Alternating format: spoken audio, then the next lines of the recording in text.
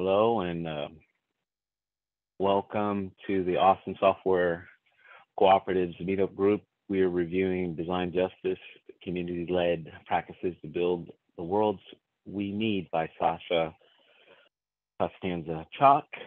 We're reviewing chapters one and two. Uh, the book uh, we felt um, deserved more than one uh, review.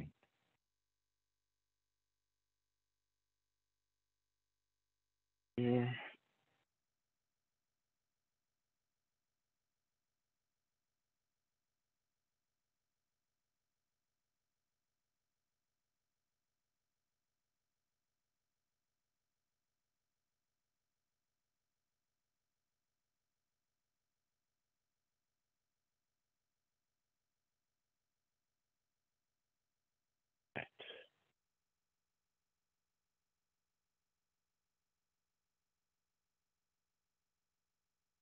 so the main question in chapter one is what values do we encode and reproduce in the objects and systems that we design?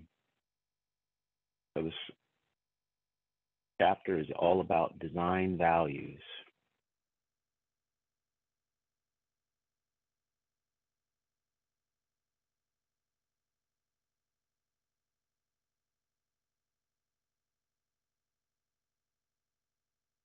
So one of the the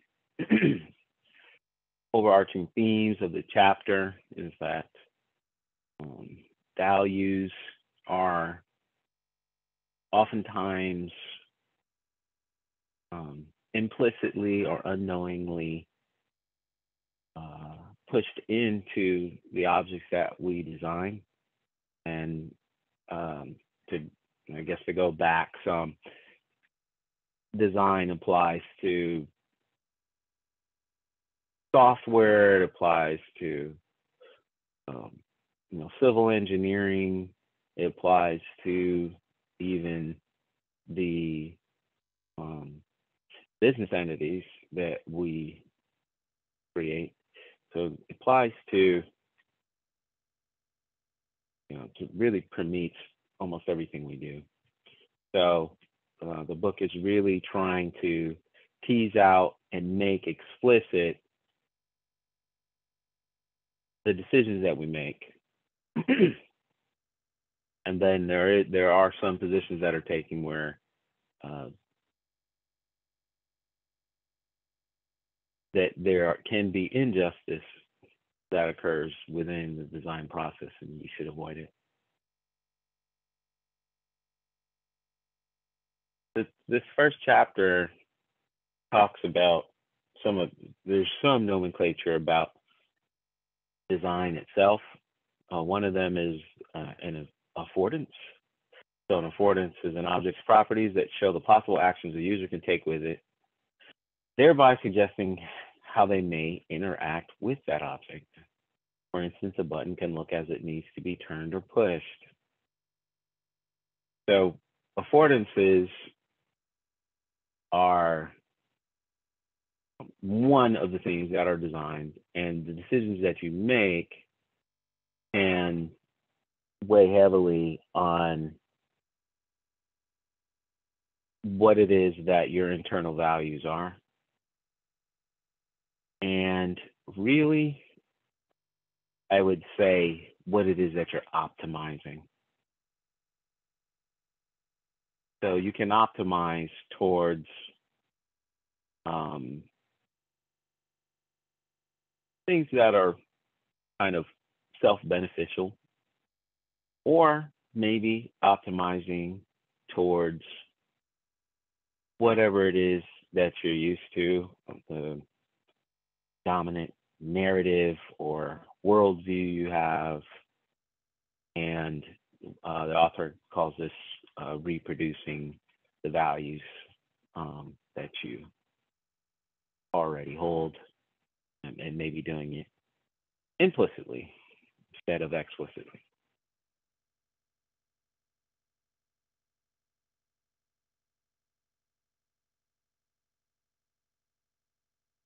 So there's a position here often takes. Uh, most designers today do not intend to systematically exclude marginalized groups of people. However, power inequalities are instantiated in the affordances and disaffordances of socio-technical systems may be intentional or unintentional. Consequences may be relatively small or they may, they may be relatively quite significant. So the process of design justice, we may say uh, more specifically that under neoliberal multicultural capitalism, most of the time designers unintentionally reproduce the matrix of domination, which is white supremacy, heteropatriarchy, capitalism, and settler colonialism, among other things. The author makes a point that design justice is not about intentionality, it's about process and outcomes. Design justice asks whether the affordances of a design object or system disproportionately reduce opportunities for already oppressed groups of people while enhancing life opportunities of dominant groups, independently of whether designers intend this outcome. So, one of the positions that the book takes uh, one of the okay, one of the problems with trying to she talks about it later but what is it that how do you make the decision on who you're going to design for? How do you whittle that down? One of the reoccurring themes I've seen in the book is that there, um, what you can do is look at historically marginalized groups and dominant groups, and then that's where you should start. So that answers the question of where the justice should be applied or where it comes from or what should be prioritized. And then conversely, when you ignore that, whether intentionally or unintentionally, then there is injustice that's occurring. So um, making those decisions explicit is the the thrust of the of the argument for the book as the push towards justice. So any questions so far or comments?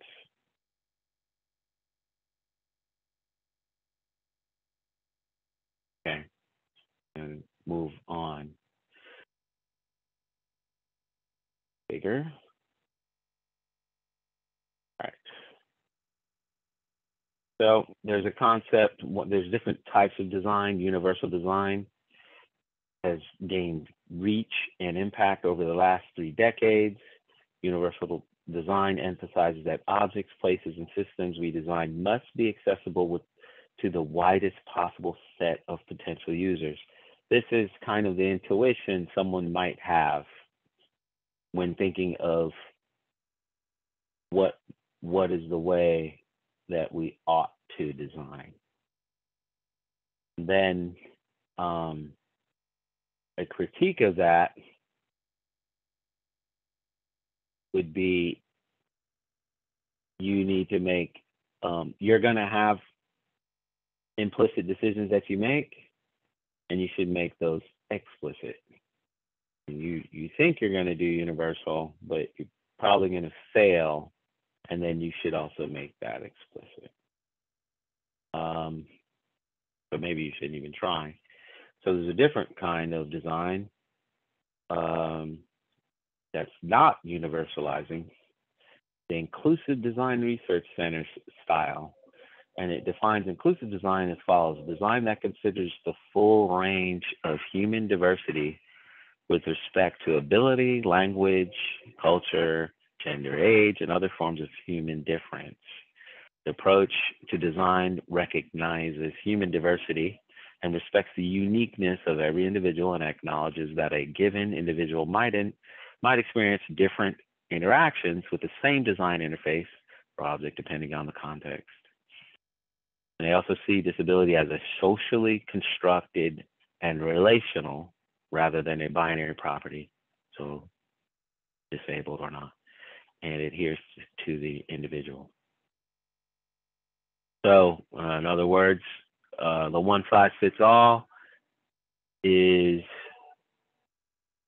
not the way to go. Um, one size fits one is what they rather you uh, think about.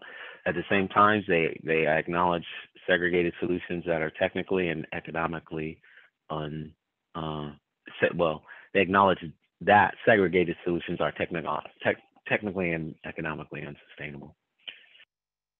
Uh, in the digital domain, active design enables personalization and flexible configuration and shares core object values, tools, platforms. So this is kind of a pushback on the universal style and saying that if you start taking um, consideration of probably your users or who is going to be affected by the design and and uh, probably getting ahead of ourselves you include them in on the uh, design process you're going to start seeing the design conform to certain attributes so um, we, it's being sensitive to that is probably the way to go is what the author is thinking Uh, there's some critiques on some of the titans of design. So Steve Krug's book, Don't Make Me Think, is very popular.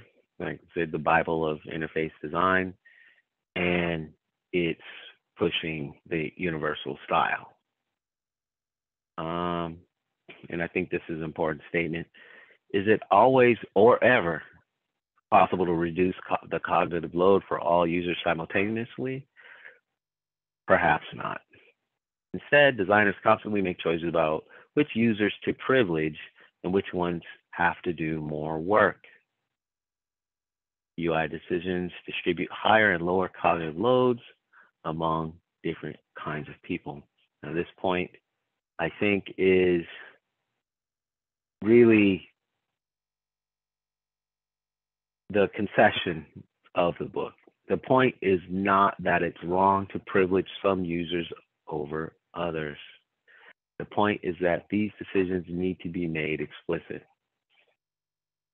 So I'd like to stop here and see what people think of this point or anything else that people would like to comment on uh, so far.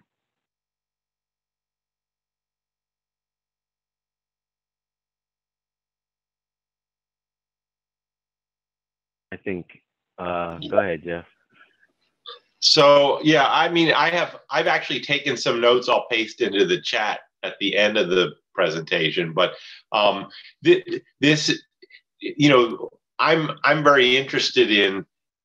I, I actually handed out this book to the English teacher at the school where I work because I'm a computer science teacher and I noticed that all the interesting discussions don't take place in our STEM classes, they take place in the humanities classes. Yet, in the humanities classes where they're discussing all the big issues about what kind of world we're going to live in, they don't grasp this, the technology.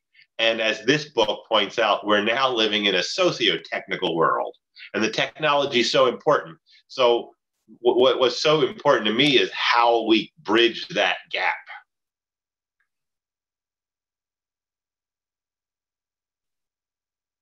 Yeah, I think that is really important. Other people. Yeah. So do you find that this point here is um, so let me reiterate. The point is not that it's wrong to privilege some users over others. The point is that these decisions need to be made explicit. Do you, what do you think about that? Do you think that that's a, a concession? Do you think that that is uh, like a strong stance on justice or like what well, the, what do you think about that well in the context of the rest of her book she is definitely you know has an egalitarian streak and it's not like the, the claim is that we, we should we should uh, validate privilege. It's that it's okay when you're designing something to have some particular group in mind that you're serving, you know, whose needs you may be serving. But you should be explicit mm-hmm. so that you can then, in the context of a democratic society where we're going to be aware of the matrix of domination and that we're going to be able to place whatever we're doing within that context, we can make good dis- decisions. Yeah, I find it uh, interesting that there's a like the phrase matrix of domination. It seems implied that conforming to the matrix of domination is wrong. That's what it seems like they're implying here over and over, really. But right, definitely. Yeah. Mm-hmm. Uh, but the, uh, ooh, there's other people that want to say something, so let's go. Who else yeah. is? Yeah, talking too much. Go ahead, Carlos. Hi, it's Carlos. Uh, my name is Carlos Reynosa. Can you guys hear me? Hey. Hey. Yeah. Can you hear me? Yeah, I hear you.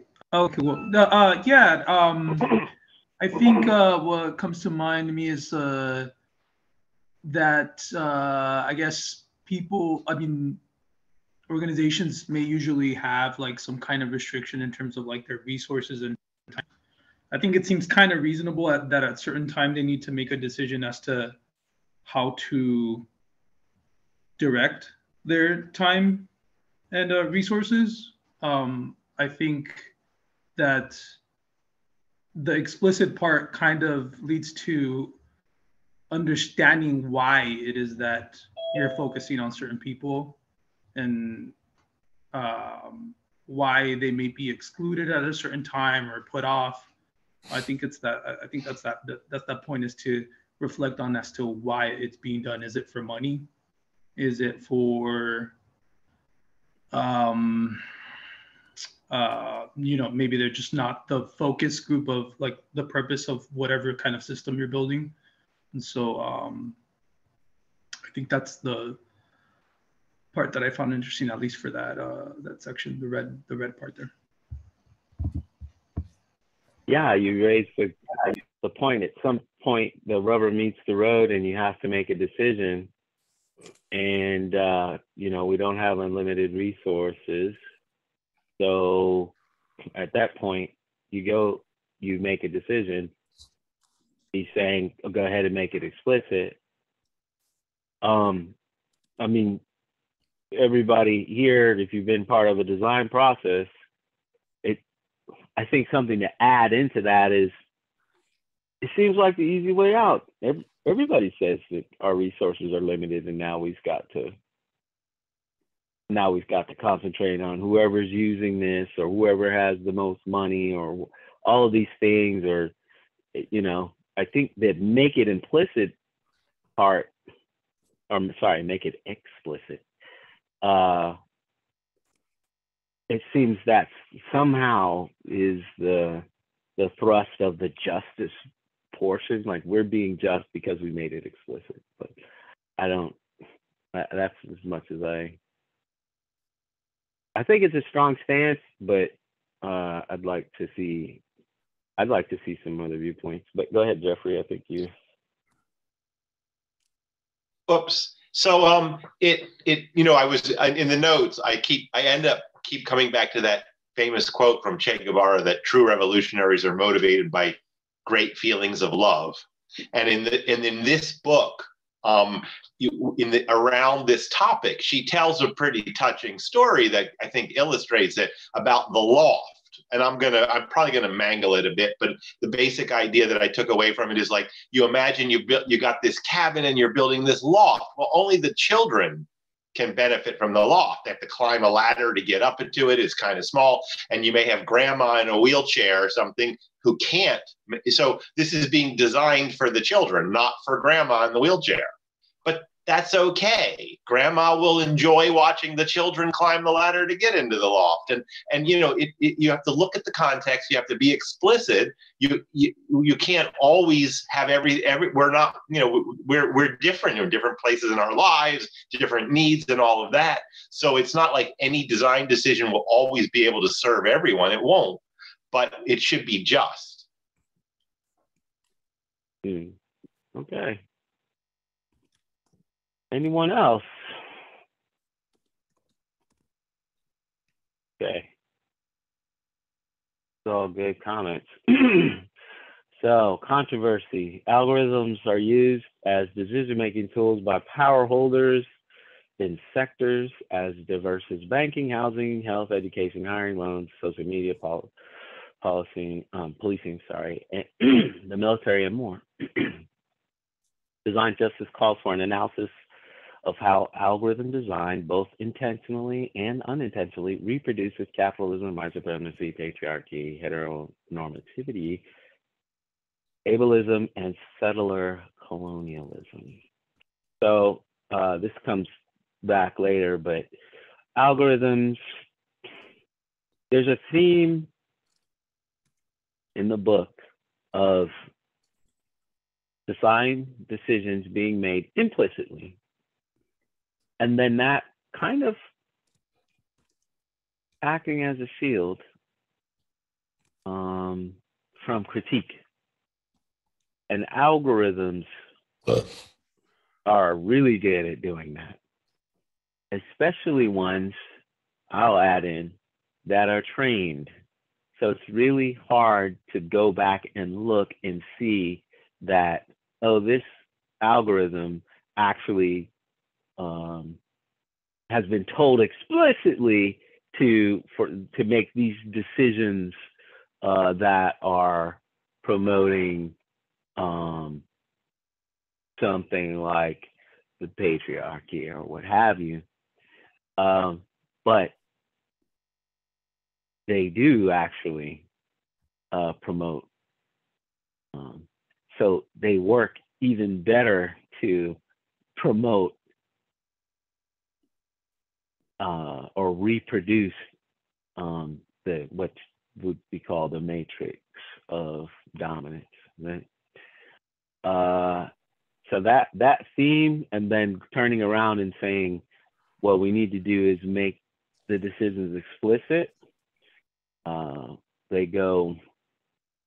They're at that are they're at ends there. It's notoriously difficult to expose um, some of these algorithms it's funny because if you look at historically um, some of the ways statistical models have been trained and people call machine learning now uh, one of one of the ways or one of the problems is communicating or proving or um, really supporting why a system made a decision that it did. And so going back and trying to say, well, was trained with this data and this is why, um, that was kind of historically the the problem and the challenge. And then as things got better and better, let's say just facial recognition or something like that, whatever got better and better started being the let's say investors or whoever stakeholders, they started just being like, okay, well, we just trust it because uh, it works, right? So you've got all of these systems out there, some of them working well and some of them not so well. Like say, I mean, do you think your recommendation system for movies on Amazon or Netflix, do you think it works really well? They spent a lot millions and millions of dollars on it. I don't think it works that well, you know, for me at least. Um, but um, same types of um, systems behind the things that are making these decisions on, you know, uh, recommendations on uh, whether you should get a loan. So uh, there's that, and we're going to get a little bit more into that in chapter two. Um, any other comments about the values? I would like to say, I mean, the the name of this chapter, design values. But I would reiterate reiterate there's power inequalities right so okay we we made that statement. Um it doesn't say let's get rid of power inequalities. It just it points out that there are power inequalities but it doesn't say that.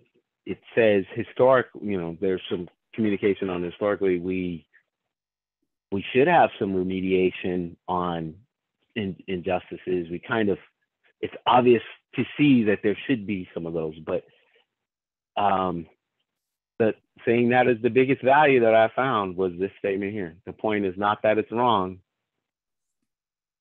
to privilege, but the point is make it explicit. So that's what I got out of this uh, chapter. I mean, I like the quote of the we should love, and then that will solve things. Well, I'll call that the um, John Lennon style of decision making. All we need is love. Okay, who who's got questions here? Carlos. Yeah, I guess more of a comment. This kind of reminds me of um, of uh, Google and uh, their algorithm for uh, fixing um, photographs and pictures that are taken on Android, um, where I guess uh, they've been trying to work on that to try to uh, address how like some of their algorithms make assumptions about like a person's kind of skin color and what makes a, a picture look good. And so um, just kind of like the implicit biases as to what you know what the, you, the, the the the bias as to like what a person looks like their skin tone and what a good picture would look like is uh, kind of built into the algorithm i think they've actually marketed uh, one of their recent android releases or maybe it was a pixel phone or something as uh, being more um, um, just cognizant of like different types of skin tones and things like that. So that's kind of I just was reminded that about that on in uh, uh, in regards to like the last I think uh, algorithm section that you were. That's it. Sounds good. Yeah. Uh, yep, the algorithm things. I mean, there was a very public uh, Google researcher that left Google um, that I think she quoted in the book, and I'm forgetting her name, but they did an analysis on the many different algorithms, but one of them, the famous one, is the recommendation for um, sentencing. And uh, so it was essentially, long story short, it was saying you're black, you need a longer sentence for prison. And they were able to prove that it was doing that. And so that just blew everything up. Um, you know, a bunch of people, you know, were pointing out some of these algorithms, and it was a big black eye for all kinds of the whole industry, really. Uh, now there's a whole group that all they do is point out um, some of the, if we use the language of the book, matrix of domination uh, biases that are in algorithms. And um, think it uh you know they're they're um they're doing a good job about that i think? Uh but uh, uh i think jeffrey who was it? He had something? Oh yeah i mean i just was going to say i think it's pretty clear that there that that the the the author of this book is taking a stand against oppression that, that it's not just okay to privilege some over others. I mean, you know, in, in within context, the the it, um, it we're not all exactly the same, and design decisions will in, invariably favor one group. You know, one one you know also we can cut these so many different ways like i said young and old and you know um, and so that's that's what that quote that you have in red is drawing attention to it's in no way means that exploitation and oppression are cool or okay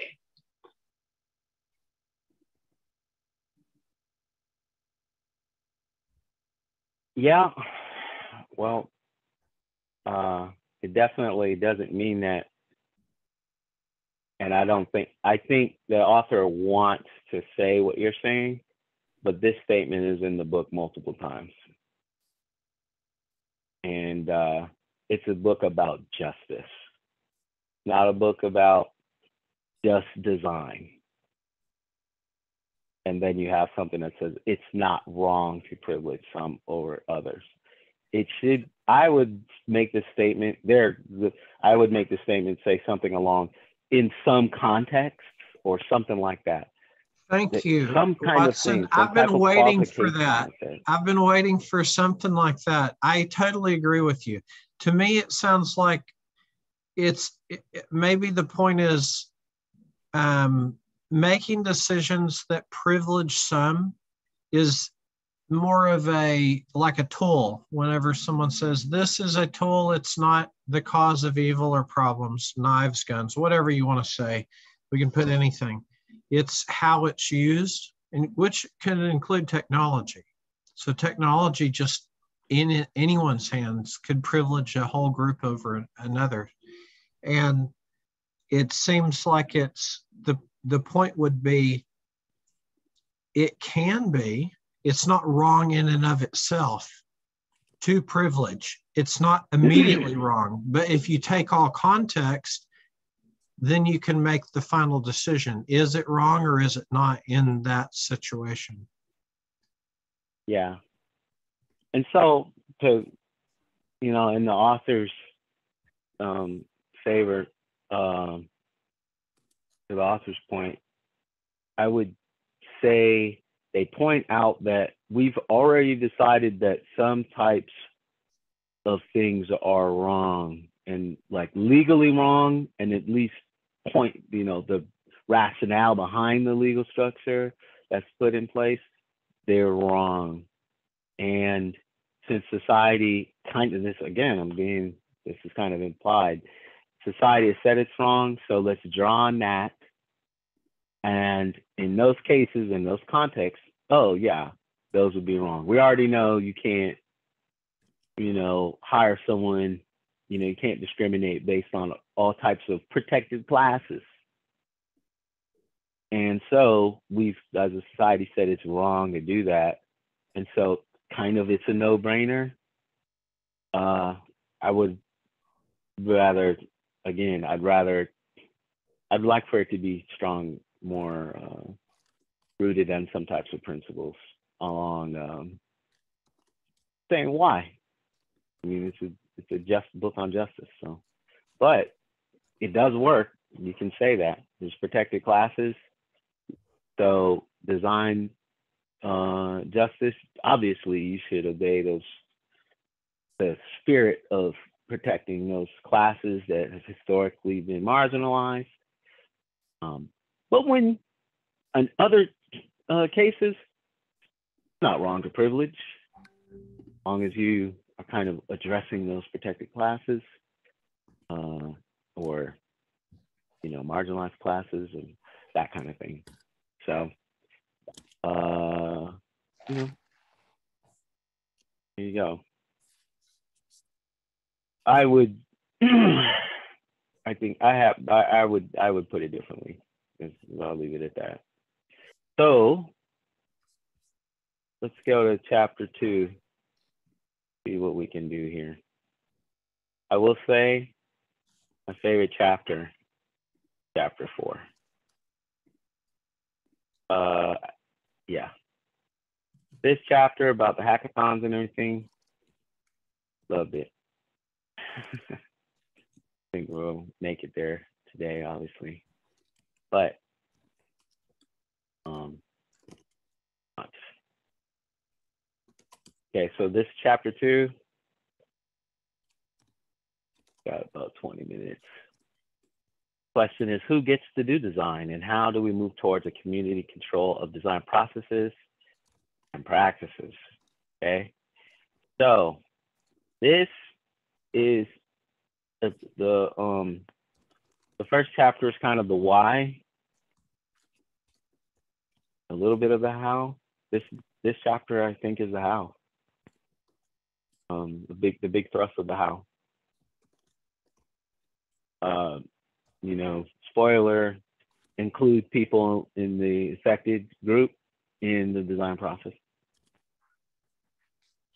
Um, there's ways to do that. So the most invaluable, the most, sorry, valuable ingredient in the design justice is the full inclusion of accountability to and control by people with direct lived experience of the condition designers claim they are trying to change. Uh, right. So let's see.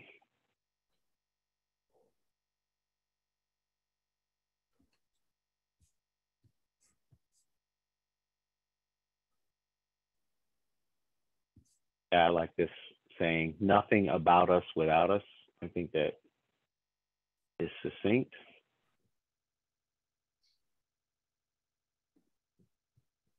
So here's something. I'm talking about, okay, within a um, corporate entity,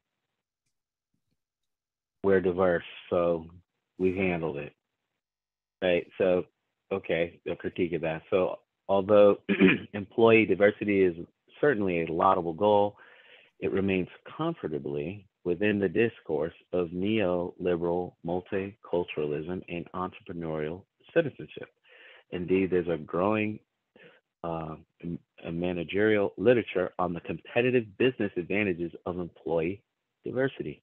Diverse firms and product teams have repeatedly been shown to make better decisions, come up with more competitive products, and better understand potential customers.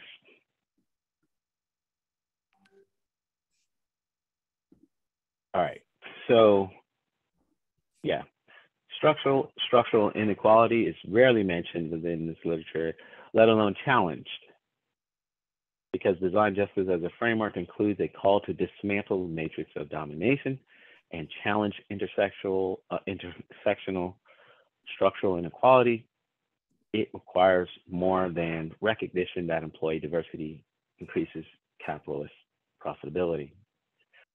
So something inside of this, because something, let's say I'll come at it from a pragmatic critique or a critique of pragmatism, I should say. Because something works doesn't mean you should do it. And that is very counterintuitive to Americans. If something works, obviously you should do it. Well, the the critique comes into what is it that you consider working? Um, working short term, working long term, ethics, these types of things, right? So it kind of begs the question. The whole idea of, oh, the, the sentence diverse firms and product teams have repeatedly been shown to make better decisions. Just right there that word better phrase better decisions that's kind of a weasel phrase. We squeeze and we beg the question right there why is it better? What is better? More profitable? Okay. Yes. Sure.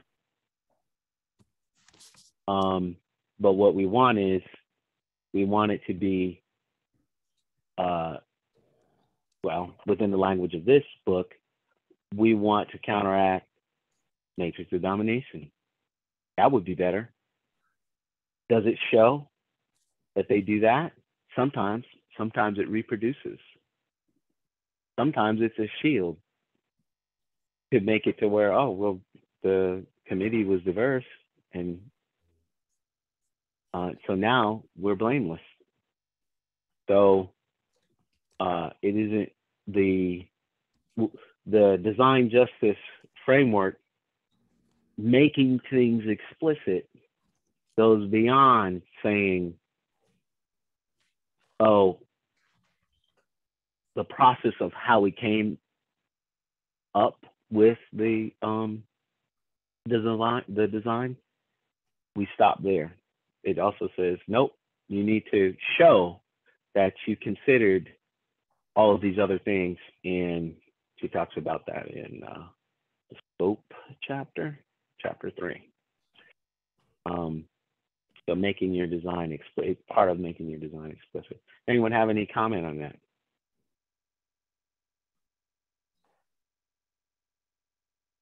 Okay.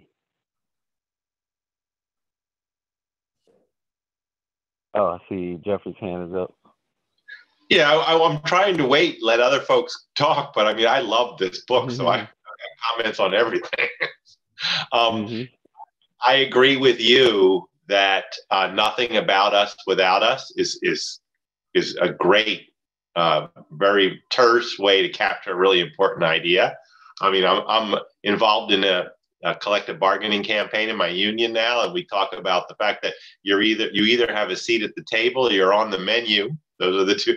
And you know, as a I'm a big fan of the Bolivarian Revolution, and and Hugo Chavez always talked about democracy, participatory and protagonist. And I think all of this is part of the ethics. It relates a lot to the ethics too. Is that that people should have a voice, an active voice in the design of their world Yep. I think so. Anyone else?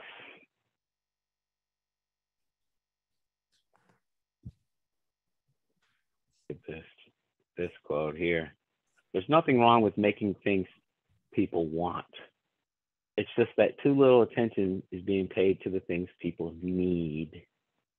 The wants and needs of young, healthy, middle class people with connections and a reasonable amount of spare cash are overrepresented among, for instance, startup cities priorities.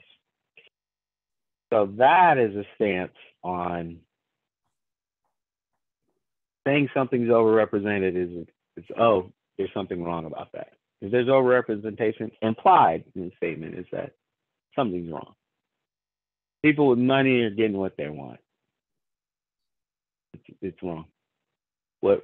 How is it wrong? Well, um, kind of okay. The my the smaller minority group that has more power and money, they're getting things that they want. And kind of, of course, if you're in a if you if you're in some type of system that's um, motivated by the profit motive, then you're going to serve those groups. And implicit in this statement is, oh, that's wrong. So we have that. Um,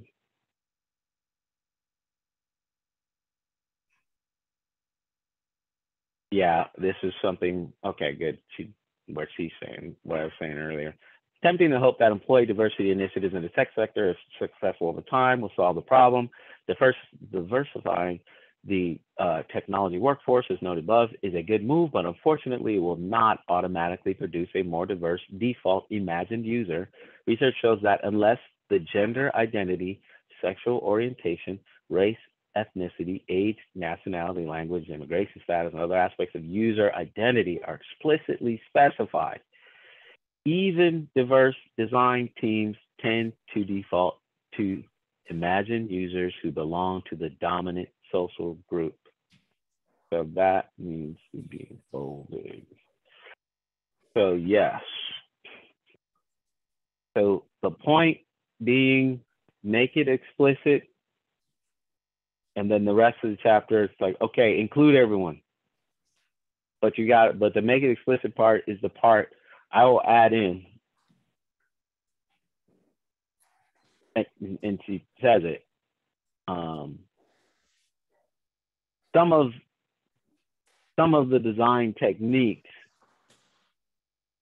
can be actually reversed and used to de the phrase she used is depoliticize. So taking out the actual attributes of marginalized groups or whatever it is, and then playing lip service to, okay, we did it, we handled it. So the argument, one of the examples one of the things with algorithms, one of the things is instead of saying, oh, specifically, it promotes uh, prison industrial complex, uh, complex, and these marginalized groups that are hurt by these um, um, algorithms. That's specifically some. Well, the push, the depoliticized version of that is, oh, the algorithm had biases. And so now we, we need to control for biases. And then you can kind of sanitize it, say that you paid a little attention to it, and you're done.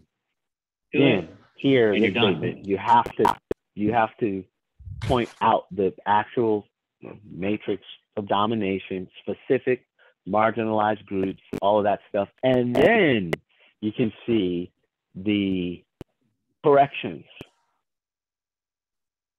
So it's a I'm glad that the office is pointing this stuff out because the other um, way that leads to destruction is it makes it more efficient to exploit.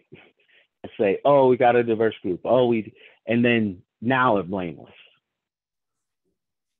Um, so yeah, um, I'm glad the author not only says that, but says it multiple times.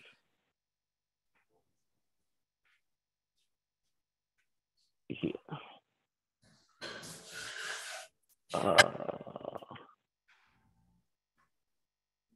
we've got, oh yeah. All right. Go ahead. Is someone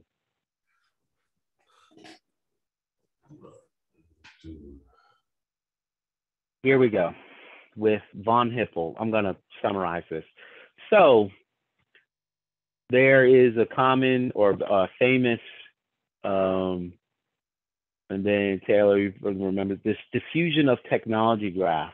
You got early adopters, so on and so forth, and you got the. This is I'm going to summarize a bunch of things. It's kind of a myth of smart people on top created this thing and the hero and it was a few really brave or risk tolerant users started using it and it, it got bigger and bigger and it, and then that's how technology diffuses through it into mass production okay? So this person von hippel says and I want to tie this into some other things, but says, no, no, no, no, no. Lead users, tinkerers, people who use whatever it is and then do the feedback, they are responsible for a great deal and maybe even most of innovation. And so that uh, it is a critique of the diffusion model. Now, tie that into the idea of productivity. So we're going to talk about exploitation and design, right? summarize some things. Who is it that gets the who is it that gets the um, the recognition for who designed, and then maybe even any type of like ownership or anything like that from design. Well, it doesn't really mention this. It, does mention this, but uh, specifically, people have workers, labor has increased in productivity in the past 40 years 30 years, 40 years, and they've not got a wage increase. One of the pushbacks of that is summarizing smart people on top created the new processes that created that productivity.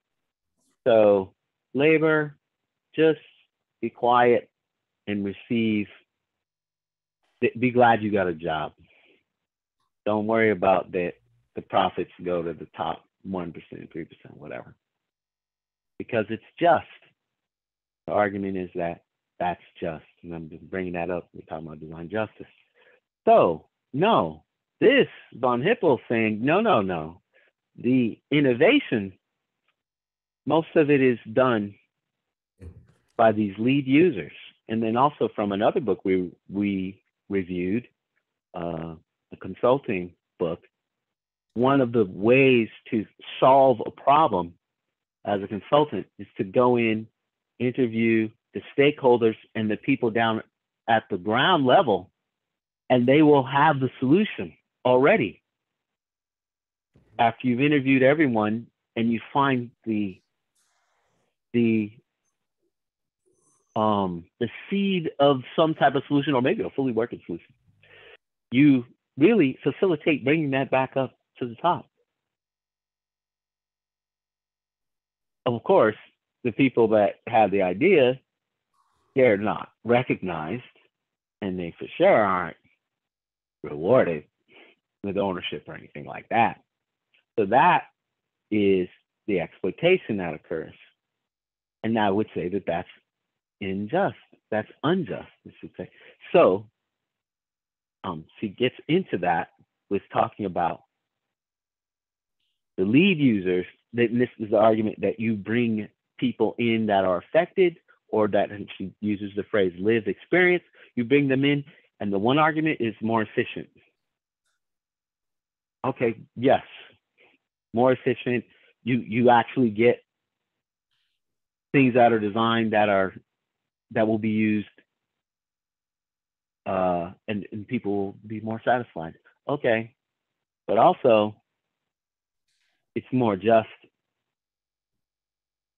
if the recognition is given and compensation is given and all that stuff like that.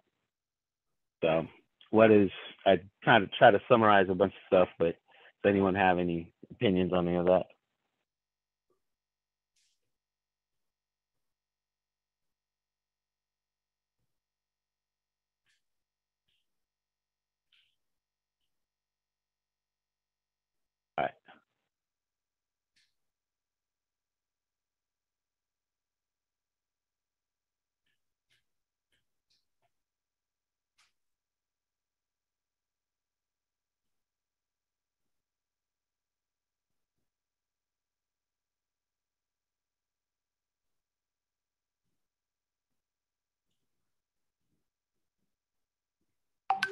Ultimately, at its best, design justice process is a form of community organizing. Design justice practitioners, like community organizers, approach the question of who gets to speak for the community from a community asset perspective. This is rooted in the principle of wherever people uh, that wherever people face challenges, they're all always already working to deal with those challenges. Is what I was talking about. Where wherever a community is oppressed, they are, are always already developing strategies to resist oppression. The principle underpins what Black feminist author Adrienne Maree Brown calls emergent strategy. Emergent strategy grounds uh, design justice practitioners' commitment to work with community-based organizations that are led by and have strong accountability mechanisms to people from the marginalized communities.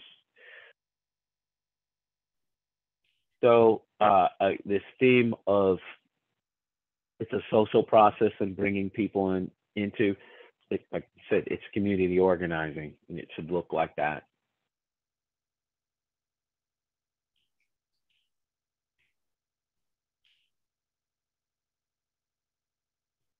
Community accountability.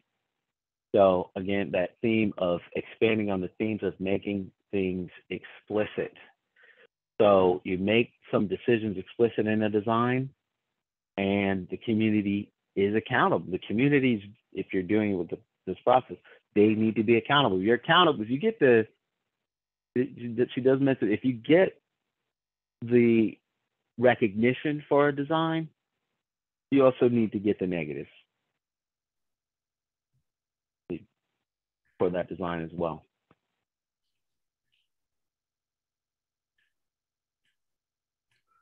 So there's a list of things that can be used for accountability. And I think that's 807. Um, does anybody have any comments? So, um, kind of in closing, this is the end of the chapter. this is more of like a high level thought and a question for you, um, Watson. In some ways, it, it feels like um, the idea is to build a structure. Go, going back to a comment, I think you were talking, you said something about in, intent uh, was mm-hmm. not as important as the um, the design. I think I don't, I don't remember the exact words. And the outcome, yeah. The mm-hmm. outcome. Okay, yeah. So the process and outcome are what was important versus the intent. And uh, the process and outcome should both be uh, fair and moral and all that, of course.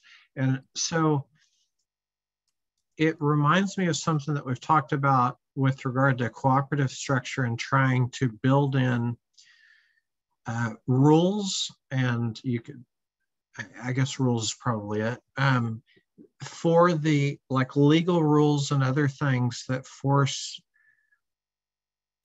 a group company whatever you want to call it to act in a moral fair fair way even if there's a point where someone that potentially could have power or whatever control might make a decision. Maybe they're feeling greedy, maybe they're desperate, whatever it is, but you have those type of boundaries.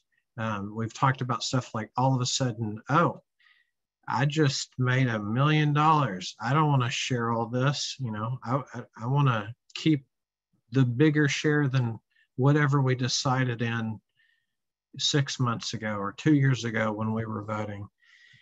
I want to go against whatever that was but having those rules and stuff in there not because we don't want people to think but we're trying to use them as tools. And it feels like this is kind of along that line uh, design justice the process and outcome putting stuff in place. Yeah i think so. I think it um so let's say rules guardrails one of the guardrails is we got to make it explicit.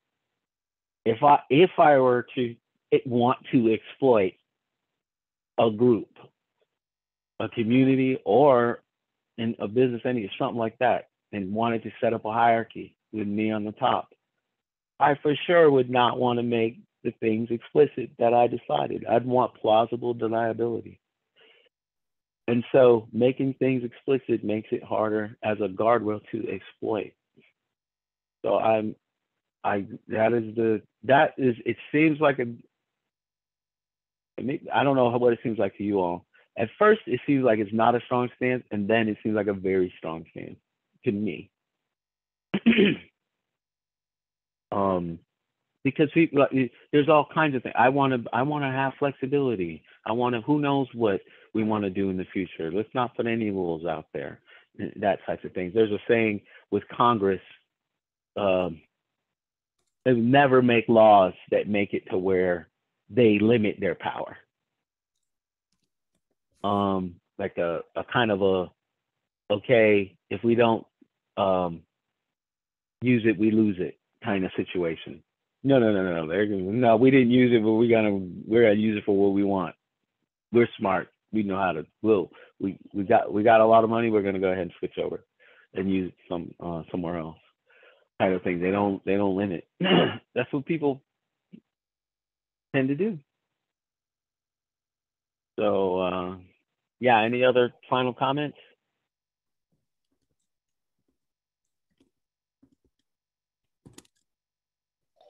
Okay, Jeffrey.